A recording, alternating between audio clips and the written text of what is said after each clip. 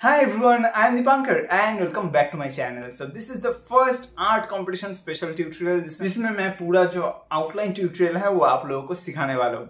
Video में आगे बढ़ने से पहले आप लोगों को बता दूँ अगर आप लोग इसी वाले वीडियो में पहली बार देख रहे हो मुझे तो ये एक आर्ट कंपटीशन स्पेशल ट्यूटोरियल है। तो आर्ट कंपटीशन के बारे में डिटेल में जानने के लिए ऊपर आई बटन में और नीचे डिस्क्रिप्शन बॉक्स में मैं एक वीडियो का लिंक डाल दूँगा वो ज़रूर देख लीजिए। सो चलो आगे बढ़ता है। सो पिछले वीडियो में आप लोगों में से बहुतों ने मुझे पूछा था कि जो आर्ट कंपटीशन है उसमें दो ग्रुप्स बनाने को। सो हियर इट इज़ अभी मैं क्लियर कर देता हूँ कि आर्ट कंपटीशन में दो ग्रुप्स होगा। Group A zero to fourteen years and group B 15 years and ever so ये दो ग्रुप होगा। तो आई होप आप लोगों को ये क्लियर हो गया। सो so, चलो आज का जो ट्यूटोरियल है उसमें आगे बढ़ते हैं। सो so, जैसे कि आप लोगों को पता है कि मैं नॉर्मली लूमिस मेथड में ही ड्रॉ करता हूँ पर क्योंकि ये एक आर्ट कॉम्पिटिशन स्पेशल ट्यूटोरियल है तो मैंने सोचा कि ये अगर मैं लुमिस मेथड में करूँगा तो ज़्यादातर आर्टिस्ट के लिए थोड़ा टफ हो जाएगा। तो मैं इसे थोड़ा इजी करने के लिए इस ट्यूटोरियल को ग्रिड मेथड में सिखाने वाला हूँ। पर हाँ जो ग्रिड मेथड है, वो भी थोड़ा अलग होने वाला है। मतलब नॉर्मल ग्रिड मेथड की तरह मैं नहीं करने वाला हूँ, थोड़ा अलग एक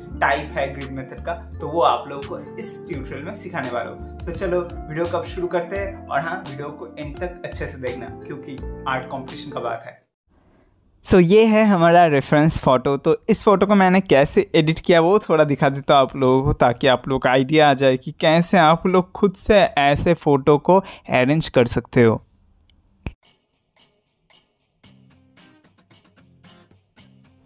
सो so, जैसे कि मैंने पहले बोला कि ये वाला आउटलाइन ड्राइंग ट्यूटोरियल मैं ग्रिड मेथड में करने वाला हूँ। तो उसके लिए आप लोगों को एक ग्रिड मेथड ऐप का ज़रूरत पड़ेगा।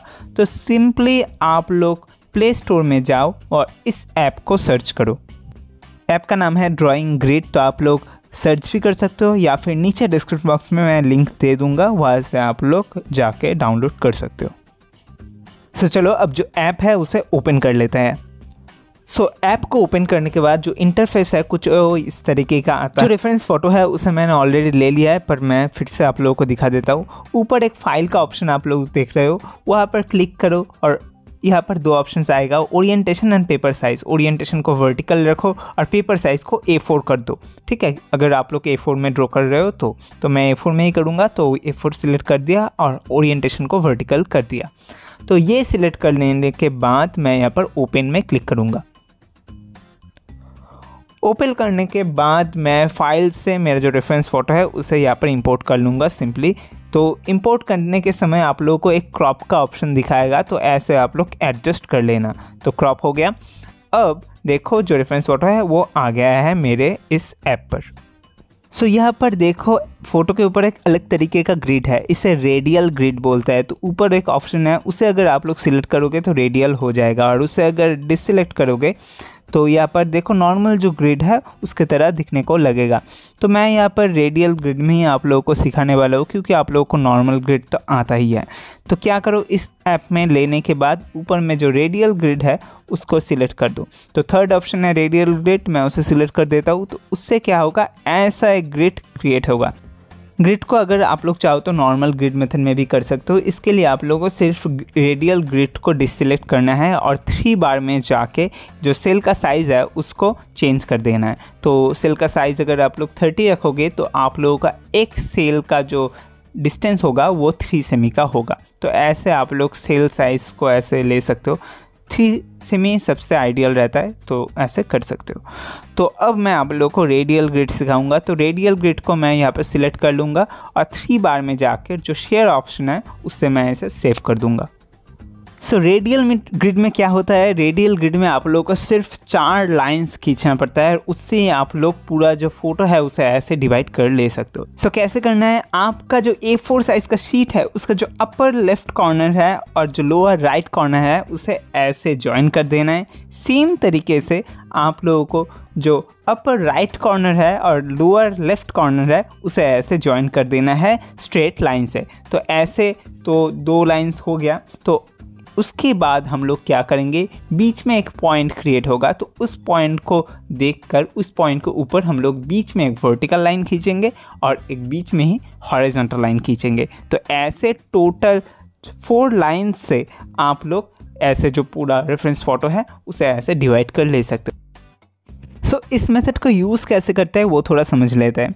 ग्रिड मेथड में मतलब नॉर्मल बॉक्स वाला ग्रिड मेथड में क्या करते हो आप लोग? बॉक्स का जो साइड का जो लाइंस होता है फोर लाइंस उसको समझ के, उसका साइज़ देखकर आप लोग रेफरेंस फ़ोटो के साथ मिला के मिला के देखते हो कि कौन सा लाइन मतलब आउटलाइन कहाँ से, कौन से बॉक्स से किस तरफ़ गया है। सेम इसमें भी वैसे ही होगा। यहाँ पर फोर लाइन्स है टोटल तो उस लाइन में आप लोग देखो कि फेस का कौन सा पॉइंट उस लाइन को कहाँ पर छू रहा है। तो वहाँ पर आप लोग पहले एक पॉइंट कर दो। जैसे कि यहाँ पर अरिजीत सिंह का जो बड़ा फेस है, उसमें जो देखो, जो ग्लासेस है वो जो वर्टिकल लाइन है, उसमें कहाँ पर टच हुआ है? तो वहाँ पर आप लोग दो पॉइंट्स कर दो। सेम जो नाक है, वो ऐसे जो साइड का जो लाइन है, उसमें कहाँ पर टच हुआ है, वैसे वहाँ पर एक पॉइंट कर दो। तो ऐसे फेस का जो आउटलाइन है, वो जो डिफरेंट डिफरेंट लाइन्स है, उसमें कहाँ पर टच हुआ है, कितने ऊपर या फिर कितने नीचे वहाँ पर पॉइंट कर दो। तो पॉइंटिंग हो जाने के बाद फिर आप लोग जो आउटलाइन है, वो ड्रॉ करो।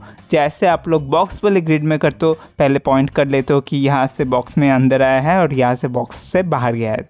तो वह पॉइंट कर लेने के बाद जैसे आप लोग उसे ज्वाइन करते हो सेम यहाँ पर भी वैसे ही करना है। आप लोग को वर्टिकल लाइन के ऊपर डिफरेंट डिफरेंट जो चीज़ें हैं या पर रेफरेंस फ़ोटो का, उसे पॉइंट कर देना है और पॉइंटिंग हो जाने के बाद उसे ज्वाइन करके आप लोग को ड्राइंग करना है।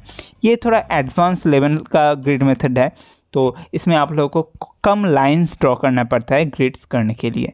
तो आप लोग चाहो तो इस मेथड में कर सकते हो, या फिर आप लोग नॉर्मल बॉक्स ग्रिड में अगर कंफर्टेबल है तो नीचे डिस्क्रिप्शन बॉक्स में तो फ़ोटो है ही। उसे आप लोग डाउनलोड करके नॉर्मल ग्रिड मेथड में कर लेना, जैसे कि मैंने दिखाया कि आप लोग को सेल साइज़ को ऐसे सिलेक्ट कर लेना है और करना है।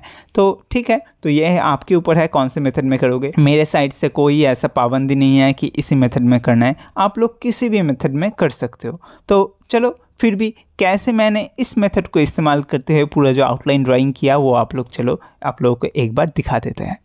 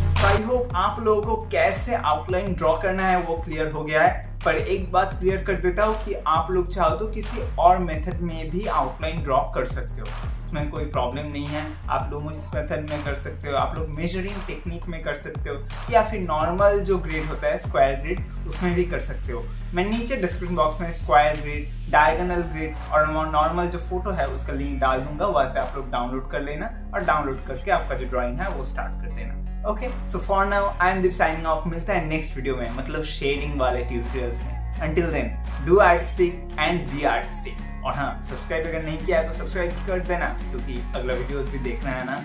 तो चलो बाय